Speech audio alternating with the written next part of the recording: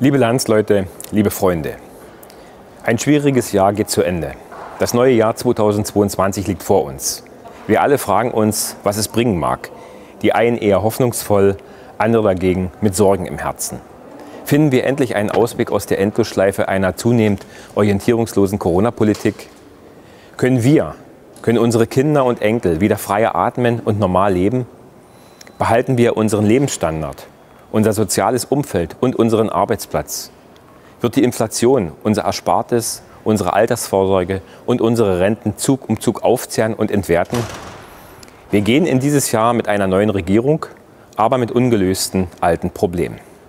Mancher kann sich des Eindrucks nicht erwehren, unser Land wäre aus den Fugen geraten.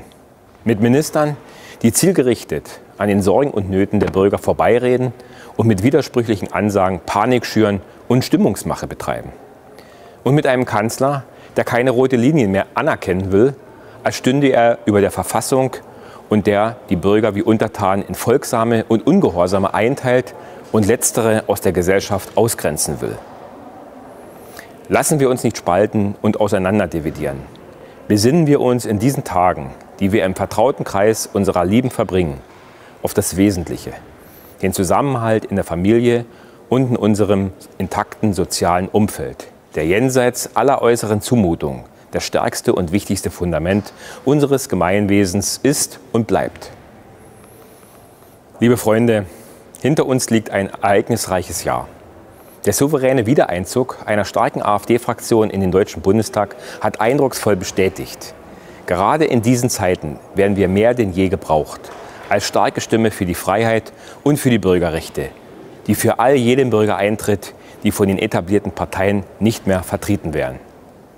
Die ganz normalen Leute, die morgens aufstehen, zur Arbeit fahren, ihre Kinder erziehen, die jedes Jahr härter arbeiten müssen und trotzdem nicht mehr in der Tasche haben, die einfach nur ihr Leben leben wollen, ohne dass politische Besserwisser ihnen in ihren Bereich ihres Lebens hineinreden und sie zu gängeln versuchen.